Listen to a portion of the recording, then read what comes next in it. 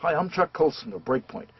And we've started something here at Breakpoint called the Centurion Program, something I'm very excited about, where I teach and get a lot of other great scholars to teach as well, biblical worldview, how to think Christianly about all of life. We call this the Centurion Program.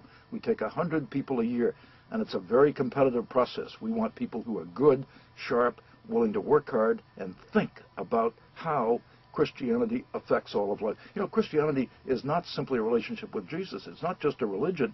It is a way of seeing all of reality. What we need desperately in the world today is a cadre of people who know how to think Christianly and defend Christianity in every single area of life. We're under brutal assault from people today who are saying religion is bad for you. Well, we know that's not true. It's not true historically. It's not true philosophically. It's not true experientially. But we have to learn how to defend our faith better against those who are not just atheists, but anti-theists who really want to erase religious influence in life. And it's a particularly vulnerable time as well because of the clash of civilizations with Islam.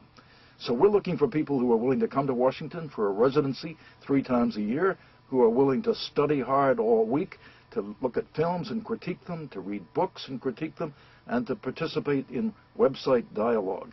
We're looking for people who are serious about becoming serious Christians, who read the signs of the times and know how to defend their faith. If you think you've got that capacity, if you think you're good enough, come to our website, breakpoint.org, and sign up to be a centurion. I'll look forward to being soldiering with you in the cause of Christ if you do that.